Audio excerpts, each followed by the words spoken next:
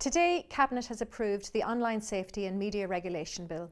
This set of new proposed laws marks a watershed moment as we move from self-regulation to an era of accountability by platforms for online safety, as well as a more joined-up approach to audiovisual media regulation. One of the most important aspects of the bill is that it establishes a new, powerful regulator to enforce accountability in the sector. A multi-person media commission will be established and will include an online safety commissioner. This will replace the Broadcasting Authority of Ireland and will be responsible for overseeing updated regulations for broadcasting and video on demand services. The Media Commission will have a range of powers to ensure compliance, including the power to require the provision of information and to appoint authorised officers to conduct investigations.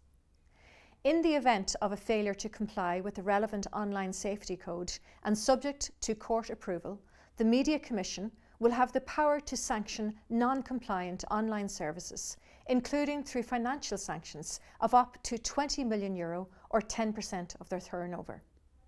I already received government approval to recruit the Online Safety Commissioner. The Media Commission will also have the power to issue content limitation notices to designated online services in respect of individual pieces of harmful content. Other important elements of this bill includes binding online safety codes to set out how regulated online services, including certain social media services, are expected to deal with harmful online content on their platforms, including criminal material, serious cyberbullying material, and material promoting self-harm, suicide and eating disorders. The bill also sets out the role of the Media Commission in relation to the protection of children, research, education, media literacy, journalistic and creative supports.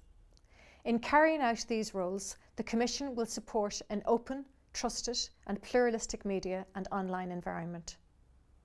There will be a 30% quota for European works in the catalogues of video on-demand services, as well as a potential content production levy to support the creation of European works. The bill also puts the EU's Audiovisual Media Service Directive into Irish law.